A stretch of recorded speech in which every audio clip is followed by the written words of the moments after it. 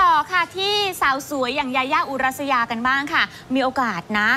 ได้ทำงานร่วมกับ 2 หนุ่มก็ d เซเว่นแบบไอ้ยะใกล้ชิดทำเอาหลาย ๆ คนเนี่ยตาร้อนไปตามๆกัน เอ๊ะ ใกล้ชิดขนาดเนี้ยพี่แบร์รี่ว่ายังไงบ้างคะ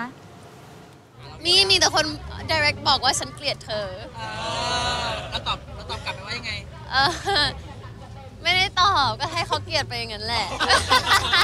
ก็เพราะนางเอกสายแบ๊วญาญ่าอุรัสยา มีโอกาสได้ถ่ายแบบร่วมกับ2หนุ่มสุดฮอตมาร์คและแบมแบม GOT7แถมยังมีช็อตแนบชิด เลยกระตุ้นต่อมอิจฉาของเหล่าแฟนคลับชาวไทย ซึ่งสาวยายาออกตัวว่าขอให้หนูได้เป็นตัวแทนเหล่าอากาเซ่ก็แล้วกัน เพราะเจ้าตัวก็ชื่นชอบวงก็อดเซเว่นเหมือนกันค่ะ จริง ๆ หนูก็ติดตามผลงานอยู่แล้วนะคะ ใช่หนูก็ชอบอยู่แล้วแบบว่าเก่งมากแบบเด็กอะไรก็ไม่รู้เก่งเก่งเก่งจริงๆทั้งคู่เลยค่ะอุ้ยอย่าว่าเด็กสิเขาอายุเกือบเท่าหนูหลายคนก็ฟินอยากเป็นยาย่า หนูเชื่อค่ะ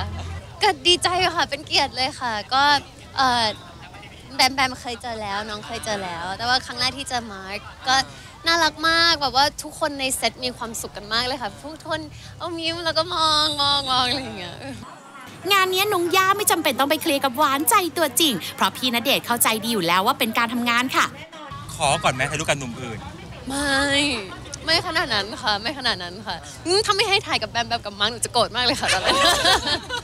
จริงๆเขามีห่วงอะไรอย่างเงี้ย ไม่เลยค่ะ ไม่ไม่ไม่เลยค่ะ เรื่องงานเราแยกกันอยู่แล้ว